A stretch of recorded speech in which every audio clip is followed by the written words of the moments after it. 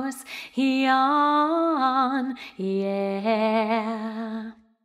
One happy birthday dot com.